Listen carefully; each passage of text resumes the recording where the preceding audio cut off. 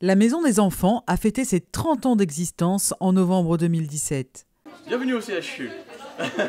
Une grande fête était donnée pour l'occasion au sein du pavillon de pédiatrie.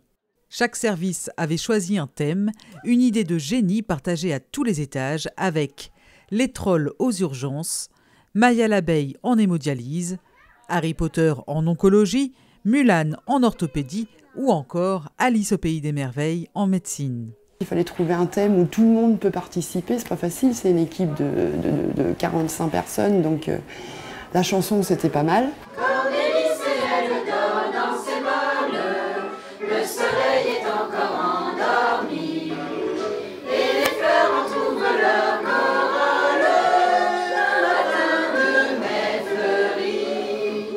Chorale, distribution de jouets, maquillage, tour de magie ou encore chasse au trésor, un événement que Quentin n'aurait loupé pour rien au monde.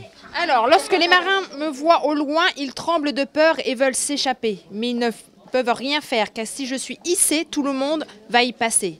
Pas de quartier. Je suis noir et blanc. Trouvez-moi proche d'un hublot, puis cherchez le prochain indice dans la maison des livres. Alors, qu'est-ce qu'on cherche? Noir et blanc, hissé en haut d'un bateau. Un drapeau Ouais J'avais vu les affiches euh, comme je vais en consultation. Et puis, bah, c'est. Même si Laetitia ne m'avait pas dit de venir, je serais venue. C'est obligé, enfin.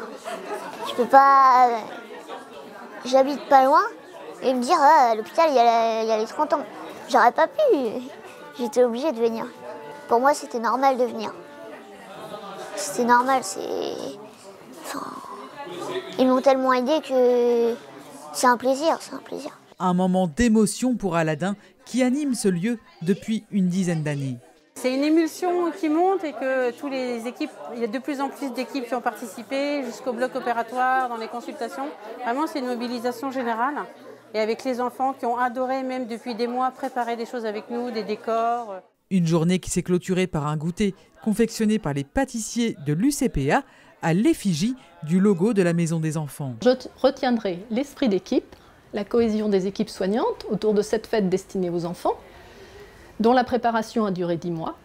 Et je pense que c'était une journée très fédératrice. Chapeau bas aux 350 personnels et bénévoles qui se sont investis pour que ces 30 ans soient une réussite.